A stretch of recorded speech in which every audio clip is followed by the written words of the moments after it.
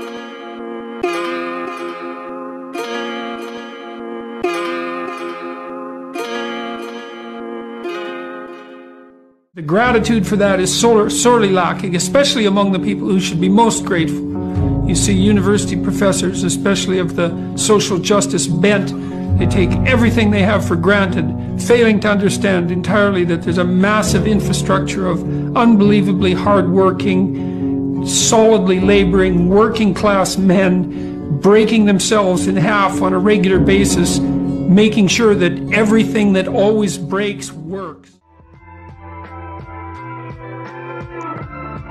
Música